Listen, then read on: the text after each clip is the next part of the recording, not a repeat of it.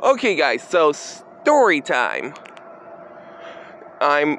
I think this is eight or nine. I don't know. I will have to look look through stuff.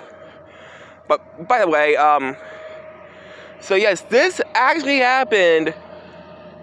Well, just yesterday. So yes, y'all know yesterday when I got home, I did my unboxing.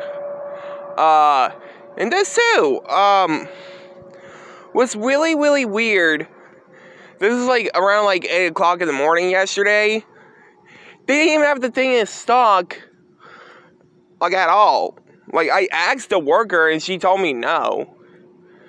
Which, it, I think, like, you know, like, I literally did the same thing with the, with the other movies, like, way back in May, which was like almost six months ago.